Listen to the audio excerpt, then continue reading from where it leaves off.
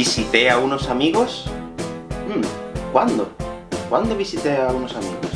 Para hablar de algo que hice ayer, que utilizo el pretérito indefinido o el imperfecto.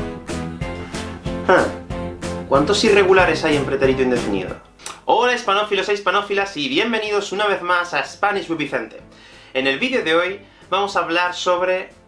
Eh... Ah, Hoy vamos a hablar sobre el pretérito indefinido. Exactamente, amigos, como habéis visto en la introducción, hoy vamos a hablar sobre el pretérito indefinido. Y voy a intentar hacerlo un poco ameno. Voy a intentar que sea bastante divertido, aunque os tengo que explicar un poco la gramática para empezar. ¿Estáis preparados y preparadas? ¡Adelante!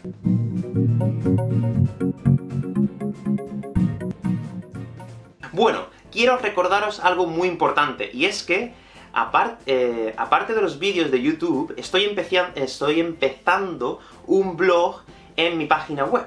Aparte de dar clases online, también podréis visitar mi página web donde podéis encontrar un blog para aprender español. De momento, solo hay una publicación, pero voy a subir muchas, muchas, muchísimas más. Bueno, también quiero recordaros que la semana pasada hice un vídeo con las diferencias entre el pretérito indefinido y el pretérito imperfecto. Justo por aquí os dejo el enlace para que podáis ver el vídeo. Pues bueno, vamos a empezar con el, vídeo de hoy, y para empezar os quiero eh, enseñar un poco las terminaciones, el cómo se conjuga este tiempo verbal.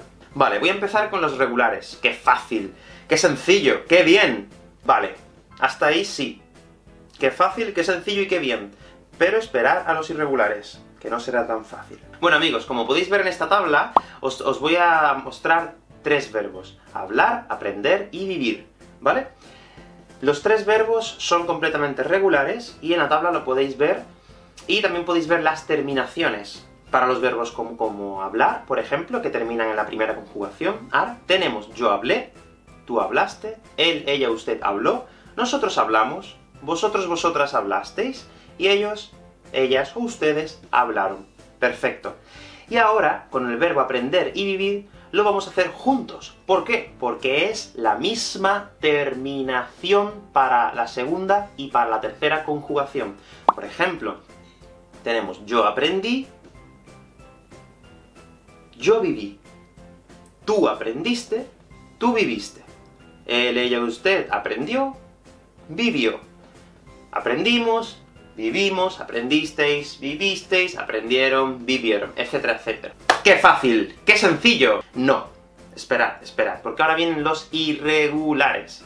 Y los verbos irregulares mm, son bastante difíciles. ¿Por qué? Pues porque hay muchos, ¿vale? Yo os voy a nombrar unos cuantos, y en la descripción os voy a dejar una lista con unos 20 más o menos, creo, eh, de mm, verbos irregulares.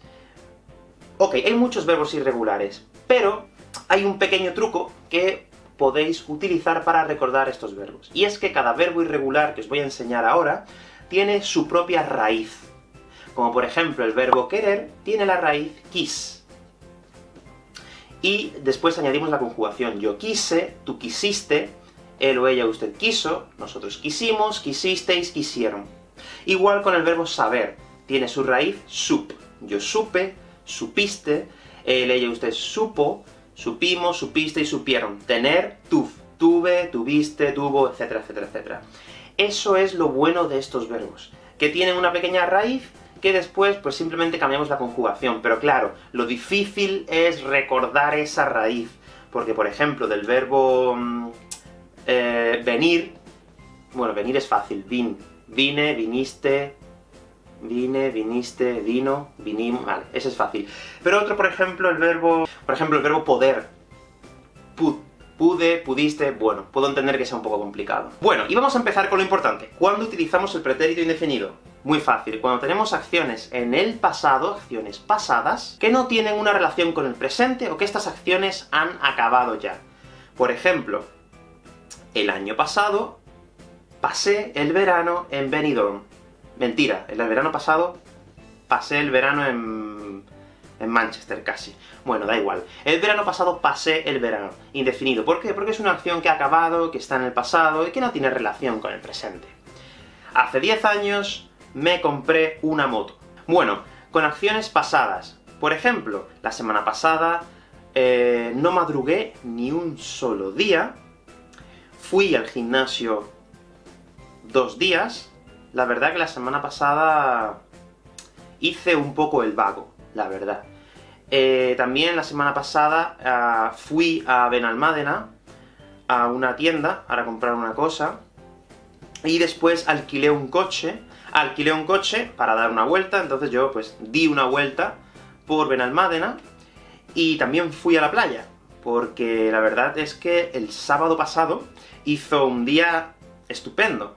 No trabajé mucho la semana pasada, nada, la semana pasada, como os he dicho, hice un poco el vago. Y en general, la semana pasada estuvo bastante bien. Creo que fue una semana muy buena. Os estoy hablando, os estoy contando de acciones que han pasado, en el, que han terminado, que ya han acabado.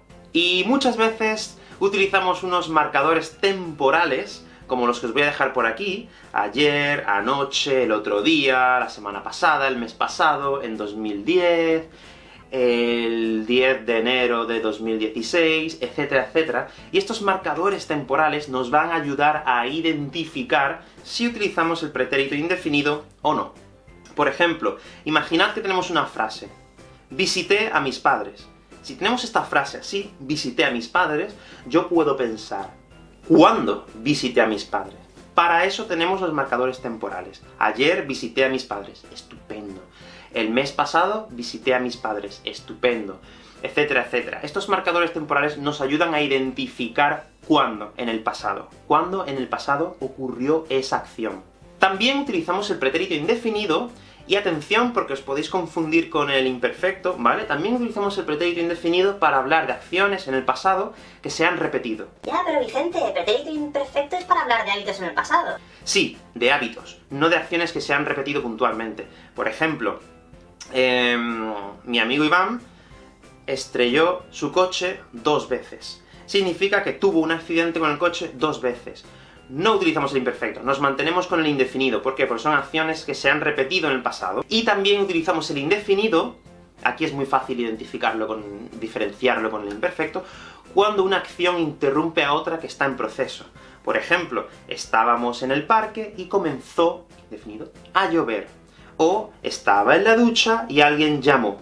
Bueno, en general, el indefinido es algo bastante más complicado, bastante más largo, Espero que con este vídeo os haya quedado un poco más claro. Bueno, os voy a contar una pequeña historia de mi vida para practicar este indefinido, ¿vale? Cuando tenía 24 años, fui de viaje a Letonia. Bueno, fui de viaje no. Eh, obtuve una beca Erasmus y me fui a vivir a Letonia. Me fui a vivir allí, y la verdad es que viví en Letonia desde el 2013 al 2014. Ese año fue maravilloso, fue un año muy bueno viajé mucho, conocí a mucha gente, hice muchos amigos, estudié mucho, porque también la verdad es que estudié mucho, aprendí un nuevo idioma, y visité muchos países. Em, la verdad es que eh, en esos nueve meses que estuve viviendo en Letonia, cambié mucho. Cambié mucho porque ese año, 2013-2014, eh, tuve la suerte de conocer a personas que me hicieron, me hicieron ver las cosas un poco diferentes a como yo pensaba que las cosas eran.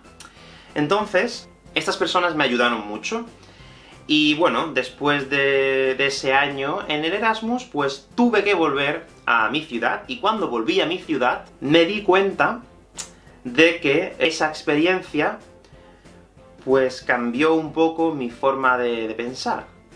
Y bueno, esa es la historia un poco. ¿Veis cómo he utilizado el pretérito indefinido en muchos casos? Por ejemplo, para continuar la historia, eh, viajé, visité muchos lugares, conocí, etcétera, etcétera. Estoy adelantando la historia con el pretérito indefinido. También, como estoy hablando del 2013, ese año visité, conocí a mucha gente.